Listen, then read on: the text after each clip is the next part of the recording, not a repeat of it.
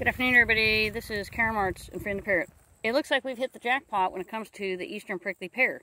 I never noticed this many plants before, and